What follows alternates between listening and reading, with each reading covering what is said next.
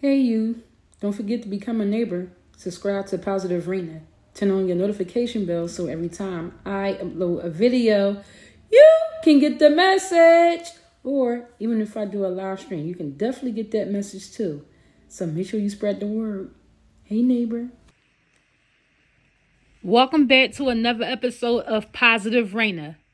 I may not ask for much, I simply ask for a thumbs up. Can you hit that thumbs up for me? I won't be here long. Just a quick little video. But I just wanted to come on here and say this, right? So they call the sippers in the state gang a cult, right? And we have group think.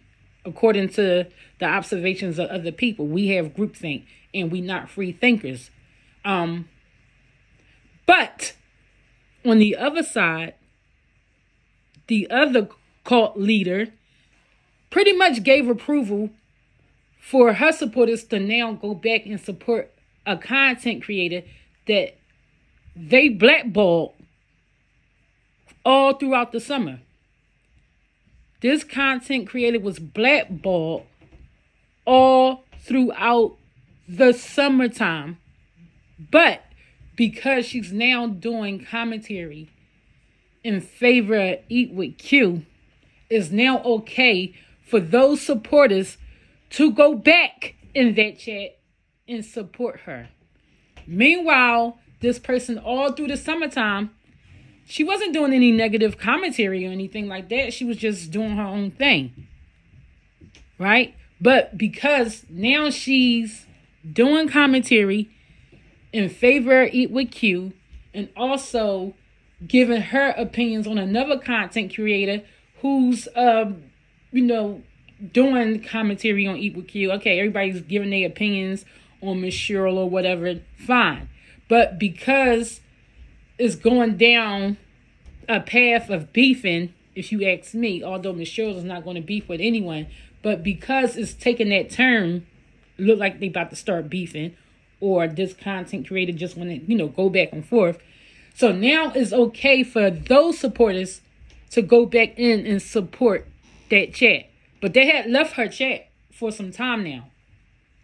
But now, because the commentary is in favor of Eat with Q, it's now safe to go back over there. But yet they want to say over here is a cult. But what's going on over there? I'm confused. I'm confused. But anyway, that's just some things I have noticed around here on this sector. Like I said, all that fake support, I don't want it. If you don't mess with me, fine. Don't support the channel. But don't come over and support the channel because I now have a difference of opinions or something else that's going on. I cannot, I don't do that fake stuff. I don't do that. Like I said, this channel is positive thoughts, positive Raina, and I'm going to keep positive. But I'm not going to let no one try to pull my platform into a beef. I don't want my platform.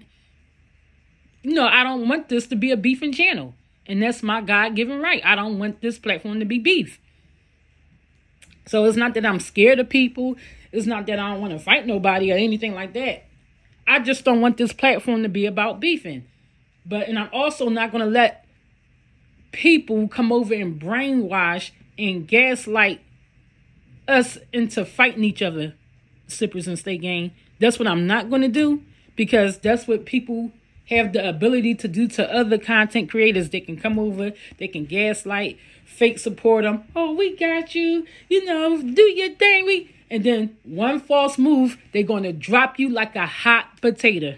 Like it always happens. So I'm happy where I'm at. Y'all can sound off in the comments. Let me know your thoughts and opinions. This stuff is crazy.